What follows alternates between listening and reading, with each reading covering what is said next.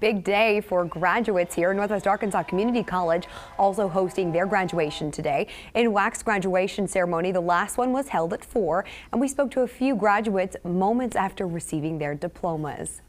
Well, I'm ecstatic. That was I, I, was in the PTA program. That's probably the hardest year of my life, and you know I'm super super excited to be done. I feel super blessed, and so I'm ready to start the next phase of my life now. I'm very excited. Um, I'm a single mom, so I uh, doing this is just a, a big achievement for myself and for my son. So I'm very happy.